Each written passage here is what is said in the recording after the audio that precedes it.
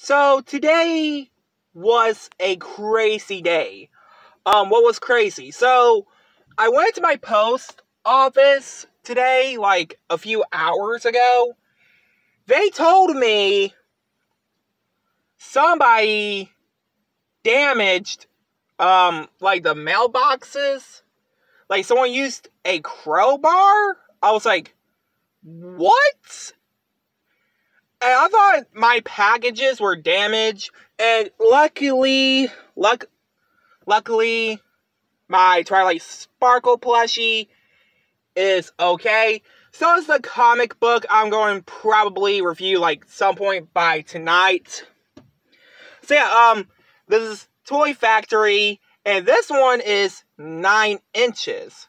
The Cine plush. Um, bought this last week. Um, need to finish on the plus video that I'm filming on Twilight Sparkle.